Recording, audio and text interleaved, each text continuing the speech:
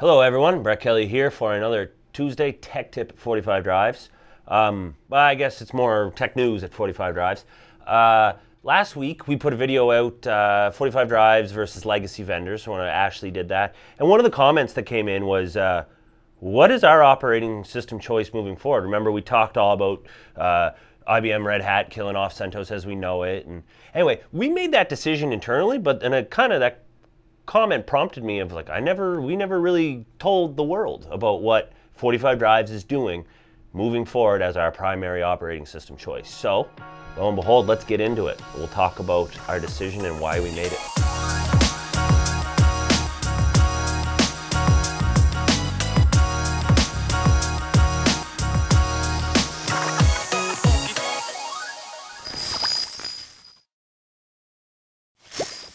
All right, so before I uh, give away the fun stuff and give you my answer of where we're going with our operating system choice, um, just a quick rehash again. Remember, CentOS Linux, as we know it, which was the downstream rebuild of Red Hat Enterprise Linux, uh, the stable, wonderful product that us and many people in the world uh, worked off of, has been um, uh, repositioned by Red Hat slash IBM as the upstream rebuild of, I guess it's not a rebuild at that point, an upstream build of RHEL. And so CentOS isn't going away. So my first question I want to just cover again real quick is like, so why are we moving away from CentOS? Well, the key word there was the switch from downstream to upstream. Um, stability and guarantees are the name of the game here, and that's what we loved about CentOS. And now that it's an upstream, we don't have that guarantee anymore. So we have to look elsewhere. So now let's get into the fun part. Moving forward, 45 drives is no longer going to just have a primary operating system choice. We are going to have kind of two families of Linux that we support. We're going to take a look at Debian derivatives and RHEL derivatives. And to be a little more blunt and clear about that, it's going to be Ubuntu and it's going to be CentOS 7 until Rocky Linux, the spiritual successor of the CentOS project, is at a stable ready build. Okay, so with that uh, big announcement out of the way, let me give you a little more context of the decision we made here.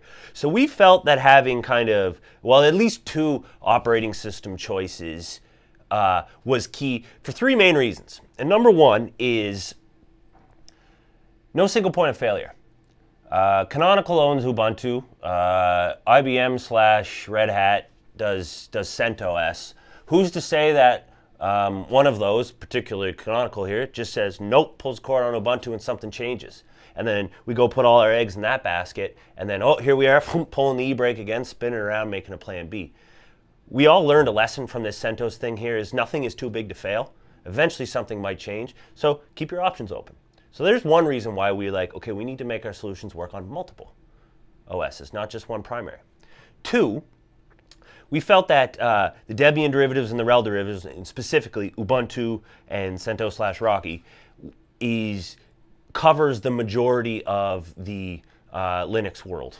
I know it doesn't fully encompass everything. Nothing does because it's humongous, but it is the majority of the uh, of the servers out in the world are running either some sort of Ubuntu or some sort of a RHEL derivative. Um, and also, remember that it's Linux, right? Like the software whether it's ZFS or Ceph, it runs on it runs on CentOS, it runs in Ubuntu. Houston UI runs in both Cockpit. It runs in both uh, Ubuntu. It runs in, in in CentOS and soon to be Rocky. Um, the software works on on either or, but the details are slightly different. The package managers are different. In RHEL, it's Yum or DNF. and in, in Ubuntu world, it's APT or uh, deb packages RPMs. And your comp files in a slightly different path structure than on the other one. So where I'm getting at here is we want to offer our solutions to either sysadmin. The one who is a little more comfortable in RHEL, they can use RHEL-like systems, or the, those are a little more comfortable in uh, Ubuntu and those systems, they can they can use uh, they can use that.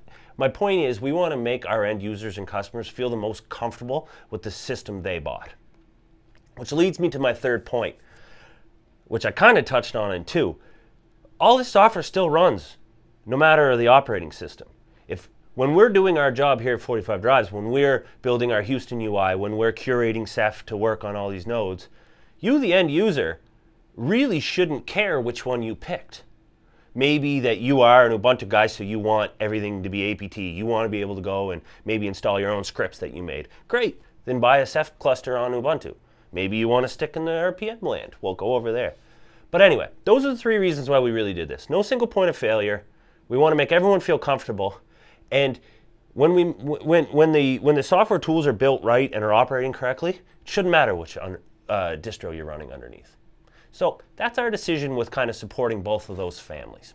Um, so what this is our, our mindset moving forward on what, what we're doing with our choice there. What, do, what are we doing about an upgrade path? What if you're an existing customer with, with CentOS 7 or, or FreeNAS or something? where do you fit in? How do you get onto our new our, our path here with us? Well, long story short is don't worry, we got you guys covered. Remember who we are. We're 45 Drives. We help people. We help people get to their end solution. If you want a little more detail on how you can upgrade to either Ubuntu or or, or Rocky Linux when it's ready, uh, why don't you reach out to either your account manager or email us at info 45 drives. We'll take a look at your specific case and talk a little more about that. But really, I want to leave it with uh, don't worry, we've always got you covered. Okay, so that's it for this week. So to sum up, those are uh, we're going to be shipping Ubuntu 20. We're going to be shipping CentOS 7 until Rocky's ready to go. And on the topic of Rocky, stay tuned. Uh, a lot of fun stuff going on over there. We're so lucky to speak to some of their team uh, at Rocky Linux. We 45 Drives, we are contributing members and we'll be talking more on exactly how we're going to be doing that. Um, my sweater's on its way, so I can't wait to wear that.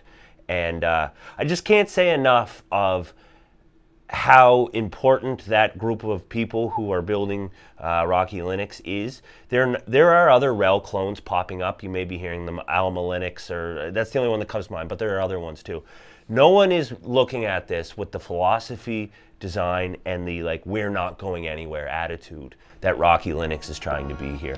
They are going to be big contributing members to this enterprise Linux server world, and they're going to be for a long time. So we're really excited to get in early. I can't wait to get my hands on on uh, an ISO release to start playing with that. Anyway, stay tuned. Lots of news, lots of stuff coming from 45 Drives and Rocky.